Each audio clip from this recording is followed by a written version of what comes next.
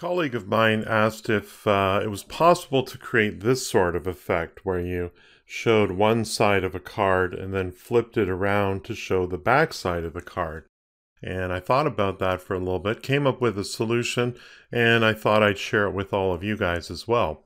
So I've come up with a an example being sort of like a baseball card. Here is Bo Obama. Now, I know it's a long time since the Obamas have been in the White House, but their pet dog is named Bo, and Bo was the first dog of the United States of America. So I thought I'd use that as an example. So I came up with the idea of using two images, one that represents the front side of the card, and uh, the back being uh, represented by the second image.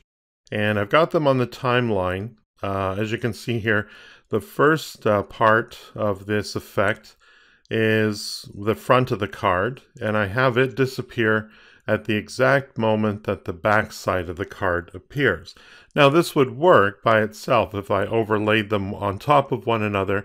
The back would uh, appear only once the front disappeared.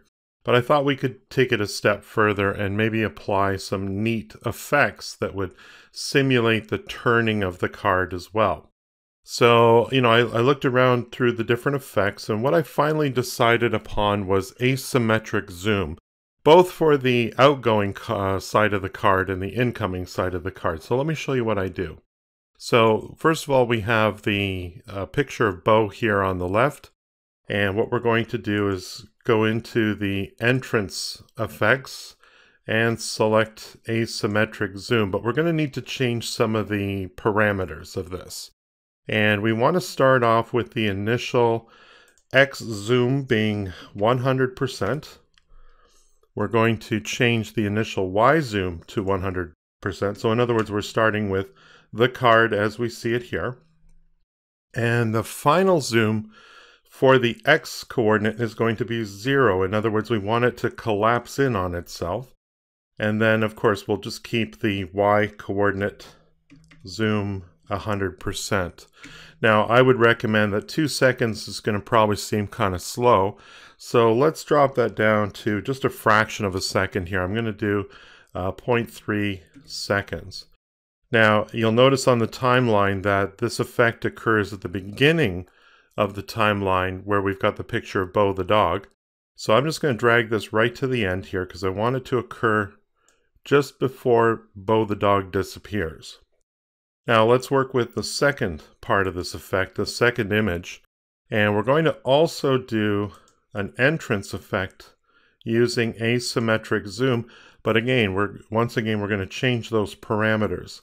So our initial Y zoom is zero. In other words, uh, essentially collapsed in on, it's starting from a collapsed in state and the initial Y zoom will still be 100 and the final x and y will both be, be 100 because we want it to appear as it appears right now on the stage.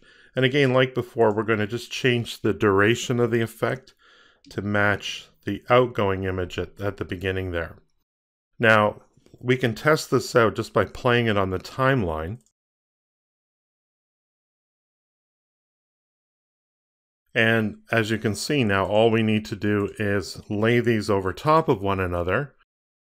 And we'll just center that on the page here so it looks nice. And let's just preview that on the timeline here.